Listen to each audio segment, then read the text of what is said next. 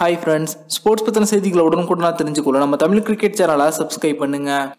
நீண்ட நாள் போராட்டத்துக்கு பிறகு தற்போது இந்திய அணியில நிரந்தரமா ஒரு நான்காம் கால வீரர் கிடைச்சிட்டாங்க அப்படின்னு சொல்லலாம். அது தொடர்பான அறிவிப்பு தற்போது இந்திய கிரிக்கெட் அணியின் தேர்வுக்குழுவும் வெளியிட்டிருக்காங்க.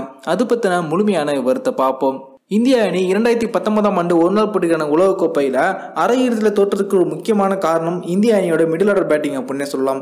அனைத்து போட்டிகளுமே இந்திய அணி டாப் ஆர்டர் பேட்ஸ்மேன்கள் சிறப்பாக ஆடின காரணத்தினால மிடில் ஆர்டர் பேட்ஸ்மேனுக்கு பெரிய அளவில் வேலை இல்லை. ஆனால் அரையிறுதியில் இந்திய அணி டாப் ஆர்டர் பேட்ஸ்மேன்கள் சீக்கிரமே அவுட் ஆன போது மிடில் ஆர்டர் பேட்ஸ்மேன்கள் சரியாக விளையாடாத காரணத்தினால இந்திய அணி அந்த போட்டியில் தழுவி தோல்வியை தழுவிட்டாங்க.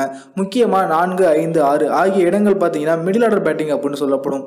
கடந்த சில வருடங்களாகவே மிடில் ஆர்டர் பேட்டிங்க்கு பல வீரர்கள் வந்து சோதனை செய்யப்பட்டாங்க. அம்பதி ராயுடு விஜய் சங்கர் கே எல் ராகுல் ரிஷப் பண்ட் போன்ற வீரர்கள் வந்து தேர்வு செய்யப்பட்டாங்க.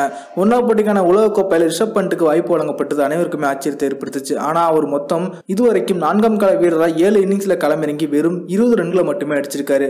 ஒரே ஒரு போட்டியில் மட்டுமே வெஸ்ட் இண்டீஸ் அணிக்கு எதிராக டி டுவெண்ட்டி போட்டியில் அறுபத்தைந்து ரன்கள் அடித்தார் அப்படிங்கிறது குறிப்பிடத்தக்கது.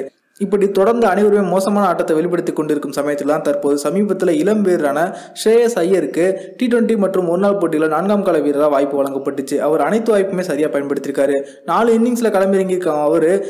இரண்டு ஒரு நாள் தொடரில் அரை சதங்களை அடிச்சிருக்காரு. அதே போல் டி டுவெண்ட்டி தொடரில் பார்த்தீங்கன்னா பங்களாதேஷ் அணிக்கு எதிரான தொடரில் முப்பத்தி இரண்டு பந்துகளை அறுபத்தி மூணு ரன்களுக்கு வச்சு தன்னுடைய அதிரடியான ஆட்டத்தை வெளிப்படுத்தியிருக்காரு.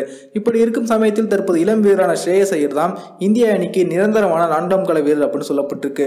அதாவது ஒரு நாள் மற்றும் டி டுவெண்ட்டி போட்டிகளுக்கு இனிமேல் ரிஷப் பண்ட்டுக்கு பதிலாக ஸ்ரேயஸ் ஐயர் அவர்கள் தான் நான்காம் கால வீரராக களமிறங்குவாங்க அப்படின்ற அறிவிப்பு வெளியாயிருக்கு. இது பற்றி ஸ்ரேயஸ் ஐயர் அவர்கள் என்ன சொல்லியிருக்காங்க அப்படின்னா இந்திய அணியின் தேர்வுக்குழு வந்து என்னை அழைச்சு இனிமேல் நிரந்தரமான நான்காம் கால வீரர் நீங்கள் தான் அதற்கேற்பார் போல உங்களுடைய பொறுப்பை உணர்ந்து சரியாக விளையாட வேண்டும்.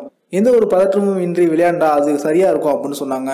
விராட் கோலி ரோஹித் சர்மா போன்ற டாப் ஆர்டர் பேட்ஸ்மேன்கள் அவுட் ஆயிட்டாங்க அப்படின்னா மிடில் ஆர்டர் பேட்ஸ்மேன்களுக்கு பெரிய கடமை இருக்கும். அதை உணர்ந்து நான் கண்டிப்பா இனி ஒரு போட்டிகளில் சிறப்பான ஆட்டத்தை வெளிப்படுத்துவேன் அப்படின்னு ஸ்ரேயஸ் ஐயர் அவர்கள் சொல்லியிருக்காங்க. இந்த வீடியோ உங்களுக்கு பிடிச்சிருந்துச்சுன்னா லைக் பண்ணுங்க ஷேர் பண்ணுங்க. நன்றி.